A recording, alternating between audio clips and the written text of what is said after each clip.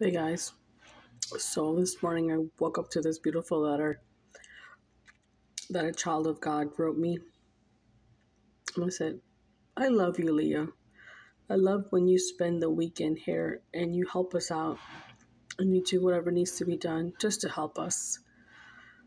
I appreciate you spend your weekends here. And I know you want to go out and all that, but I'm happy that you spend your weekends here. And I love to go to the movies with you. Tomorrow, I know we can't go to the movies because the snow out there and all that. And I'm okay with that. But I love going to the movies with you.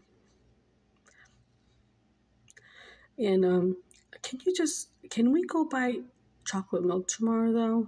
You know, I love chocolate, and so do you. So, um, can we just do that before you go home? Please? Oh, love.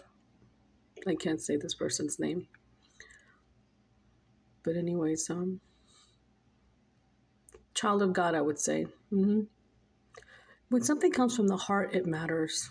And when it comes from the heart, appreciate it. Even if it's in a small letter written on a piece of napkin, it's so beautiful. I'm going to save this because it touched my heart. When things touch your heart, appreciate it. You know? Treat people the way you want to be treated with love. That's all I gotta say.